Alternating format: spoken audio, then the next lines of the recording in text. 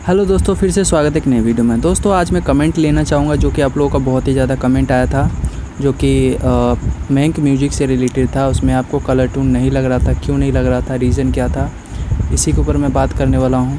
और इसे colour twin को लगाने के लिए आपको क्या करना होगा, सबसे पहले नंबर आपने ये चीज़ नहीं तो नोट किया होगा कि इन सब में अपडेट भी दिया जाता है। तो अपडेट आप नहीं करते हो तो इसी वजह से आपको लगता नहीं है।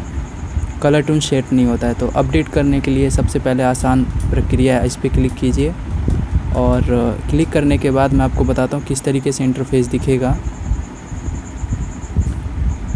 आपको यहाँ पे इस तरीके से इंटरफेस दिखेगा, जैसे प्ले स्टोर में जाएँगे फिर थ्री लाइन पे क्लिक कीजिए।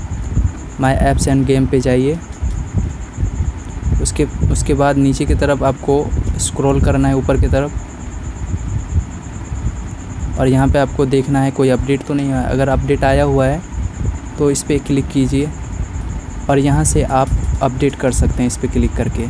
अपडेट नहीं करेंगे तो आपको प्रॉब्लम होगी। आप देख भी सकते हैं यहाँ पे फ्री हेलो टून और कॉल टून शॉर्ट सेट आप कर सकते हैं फिक्स कर सकते हैं प्रॉब्लम जी हाँ आप देख सकते हैं इसमें प्रॉब्लम इसी की वजह से आ रहा था।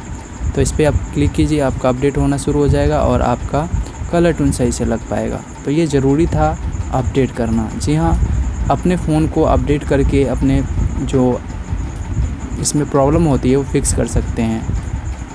तो ये बहुत ही ज़्यादा प्रॉब्लम होती है।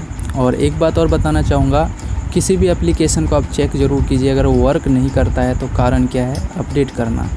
जी हाँ अपडेट कर सकते हैं। यहाँ पे आकर के किसी भी एप्ली, इस सेक्शन में अपडेट दिखता है। इसमें जितने भी एप्लीकेशन को आपने इंस्टॉल किया वो सारे दिखेंगे।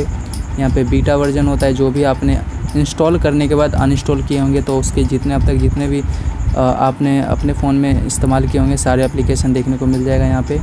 तो ये काफ़ी अच्छा एप्लीकेशन मतलब इस तरीके से आप इसका इस्तेमाल कर सकते हैं। ये इन्फॉर्मेशन कैसा लगा प्लीज़ कमेंट में जो बताइएगा। मिलते हैं नेक्स्ट वीडियो में एक नए टॉपिक के साथ। तब तक के लिए बाय बाय